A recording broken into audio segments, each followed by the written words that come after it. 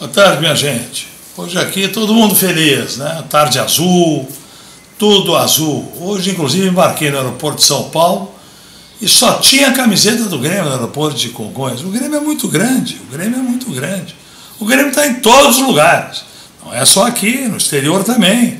Muitas viagens eu faço e tenho o prazer de ver aquela camiseta andando por uma rua ou por outra da Europa ou dos Estados Unidos.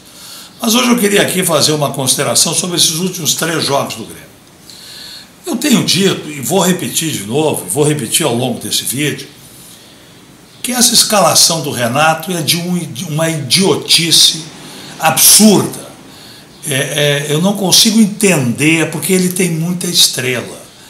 Ele ganha jogando mal, ele ganha escalando mal, e ele está assim com o time, chegando quase na vice-liderança. E por incrível que pareça, nós temos chance de ser campeões. Muito remota, muito remota, não vamos sonhar demais também. Mas temos. Ponto. Matematicamente, temos. temos né? Agora vejam vocês o seguinte: aquela partida contra o Bragantino. Um verdadeiro absurdo. Jogo mal jogado, escalação horrorosa dando campo para o Bragantino. Ora, o Bragantino, minha gente, é um bom time, mas nada mais do que isso. O Bragantino é um time empresarial, que o objetivo é trazer jogador, formar jogador, comprar jogador barato, vender o jogador lá para fora, para um dos clubes da RB. O Grêmio não. O Grêmio é uma instituição de 120 anos. O Grêmio é tricampeão da América, o Grêmio é campeão do mundo. O peso dessa camisa aqui não se compara com a deles. Né? Então é o seguinte: jogo horroroso. Não vamos nem entrar em consideração, escalou mal, jogou mal, botou o time para trás. 2 a 0 ridículo. Vamos do Corinthians. Vamos lá para jogar na arena do Itaquera. Contra um time, perdão da palavra, fraco. O Corinthians tem no plantel dele o melhor nome, Vanderlei Luxemburgo. O técnico, experiente, calejado, conhece futebol, gosta de atacar, arruma o meio de campo. Excelente treinador, Vanderlei Luxemburgo. O time, Renato Augusto está manco. O Gil não consegue mais jogar.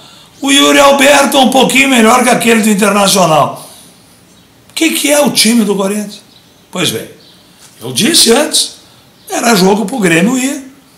Deixar o Corinthians numa posição de, de ter que sair, né? e o Grêmio controlando as pontas, onde é a única maneira do Corinthians entrar. Pois bem, o Grêmio voltou a ter a escalação a lá Renato. Horrorosa. João Pedro e o Luizito. Sem ponteiros com um quadrilátero rodante no meio que não produzia nada. O que, que aconteceu? Corinthians em cima, o Corinthians pressionando, o Corinthians entrando pelas pontas e não tendo cobertura, porque não tem a recomposição nem do Everton Galdino por uma, nem do Ferreirinha pela outra. E aí o lateral adversário, seja o Fagner, seja o, o, o Careca, aquele lá que agora me falhou o nome, vindo para cima. Bom, então vocês acham que dois jogadores com mais do que 30 anos, um, o outro tem 35, acho, 36, iriam fazer a pressão que fizeram sobre o Grêmio? Se nós tivéssemos a recomposição do Ferreirinho e do Galdino, eles não viriam e ainda perderiam quando o Galdino ou o Ferreirinho avançasse. Então o Grêmio, além de não deixar ser amassado, ainda tem até condição de amassar. Pois não. O Renato, inteligente Renato, escalou aquela barbaridade de novo, time torto, time torto, com um jogador, coitado, que ou não joga nada, ou ainda não conseguiu entrar em forma no Grêmio. Porque eu não acredito que nem o Renato, nem a diretoria do Grêmio seriam tão burros de trazer um número 9, que é a posição que nós mais precisamos, que não soubesse jogar. Porque eu já disse a vocês, eu não conheço esse jogador, eu nunca vi ele jogar, só sei que veio do Ferencváros, lá da Turquia, né? João Pedro Galvão. E aí, acontecem dois fatores inacreditáveis. Primeiro, valha-me Deus, Nossa Senhora, é tomar três gols em cinco minutos. Mas vem cá, será que o nosso goleiro não pode ter uma caganeira na hora? Ou será que o nosso zagueiro não pode cair torcer o tornozelo? E será que então vai se jogar cinco ou seis minutos de prorrogação? É óbvio que não. Depois do primeiro gol deles, o Grêmio não tinha mais que permitir jogar. Não, permitiu. O que, que aconteceu? Cadê o comando do banco?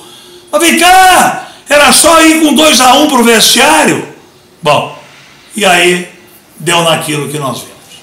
4 a 4 e por último, o pênalti roubado. Um absurdo. É um absurdo. Tá?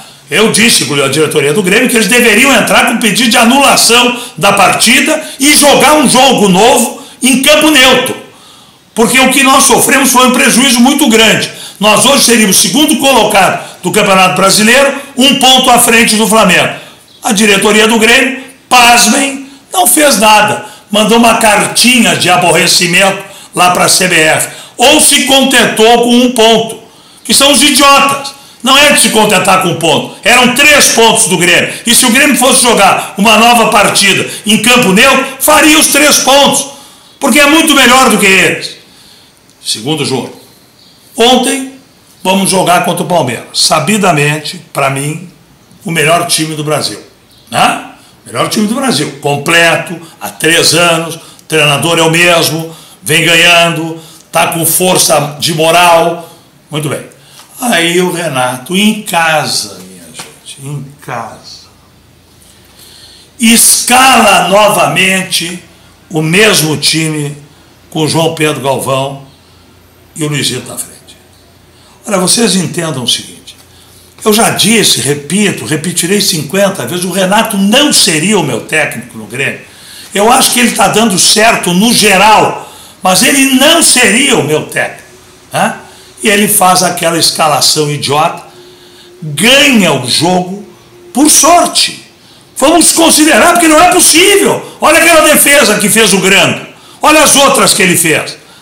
Por sorte. Mal escalado. E o pior de tudo é que ele, no segundo tempo, corrige o erro do primeiro. Ele bota os dois ponteiros e tira a sobra do meio e aquele aquele falso jogador, por enquanto, coitado, aquele tal daquele JP Galvão. Aí é o que eu venho pedindo, que ele comece assim, que ele comece o jogo assim. Né? Vocês vejam, três jogos, três jogos com problema. Né? Bragantino, o jogo do Corinthians e o jogo de ontem. E continua a idiotice do Renato. Eu não sei o que que esse Brum, que dá umas declarações meio imbecis, na imprensa, inclusive a de ontem, né? declaração idiota, imbecil, né? ele, ele, o que, que ele faz lá no vestiário? Ele não sabe falar com o Renato, pelo amor de Deus, ele não sabe fazer o cara entender que tem alguma coisa errada, ele não sabe ser o contraponto do técnico, ou será que está repetindo o que fazia o Renato com o Romildo? Que era o Renato era o dono, presidente, tesoureiro, tudo do Grêmio. Será que o, o Bruno esse não consegue falar com ele isso? Ou será que o Bruno não entende nada de futebol e aceita o, o que o Renato está botando em campo? Pois eu não aceito. E espero que vocês, torcida tricolor, se manifestem, porque isso é uma barbaridade. Ele tem que entender que ele está errado, que ele tem que mudar a forma de escalar o Grêmio.